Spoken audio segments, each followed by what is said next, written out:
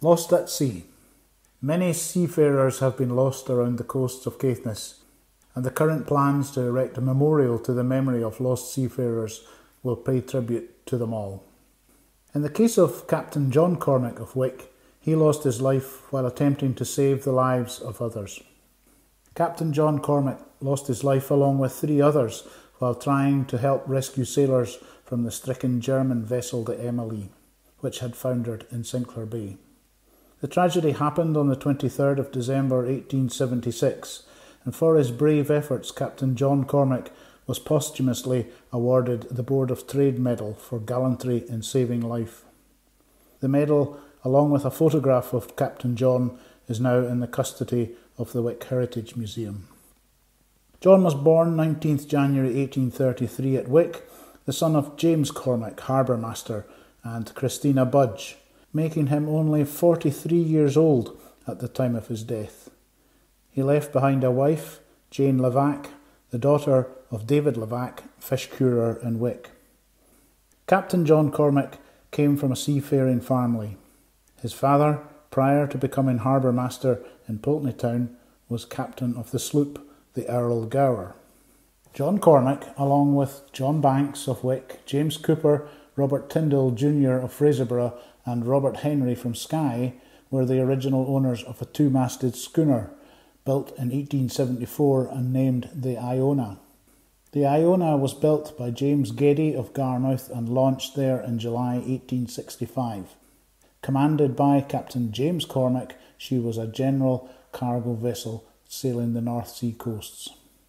Captain John was not, however, the only sailor to lose his life in this attempt to save the German sailors. Accompanied by fishermen William Gunn, Robert Bain, and John Sutherland, they procured a salmon cobble at Ackergill and set out into Sinclair Bay in a ferocious storm to try and assist those on the Emilie. A fuller description of the events can be read in Andy Anderson's booklet Ackergill Lifeboats. Such was the recognised heroism of these men that their endeavours are recorded in Britannia's Calendar of Heroes.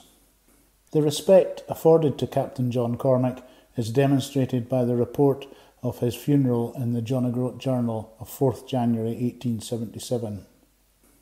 There would be about 600 persons present, and the merchants of both towns closed their shops during the time of the funeral. The large body of those who paid their last tribute of respect to the deceased walked from the house at Inkerman, the house of his father in law, to the new cemetery. The vessels in the harbour had their flags half masted. Immediately after the funeral, the interment of the two German sailors of the Emilie whose bodies had been recovered. Later, in 1877, the German government acknowledged the attempted rescue. Following a request from the German ambassador, the Board of Trade presented the above medal, plus a Bible to John Cormack's widow and £60 to be distributed among the families of the other three fishermen. Every item in the Wick Heritage Museum's collection carries a story behind it, some tragic, and all providing a link to our heritage. Every item in the collection has at some time been donated to the museum, and for that we are grateful that the community entrusts us to be the custodians of both community and individual family stories.